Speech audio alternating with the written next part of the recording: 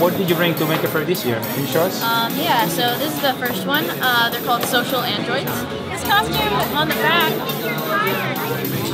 Wow. that's modeled after the Arduino Pro Mini and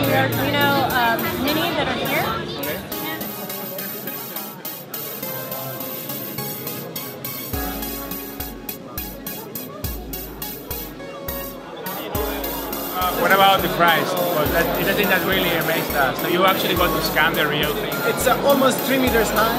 It's a huge statue, and we we have done it in 40 minutes. This is intended to be a big printer for superstructure.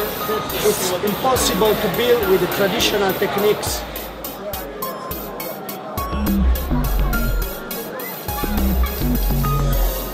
We just made the, the game with Arduino. There's an Arduino Leonardo that simulates uh, the mouse.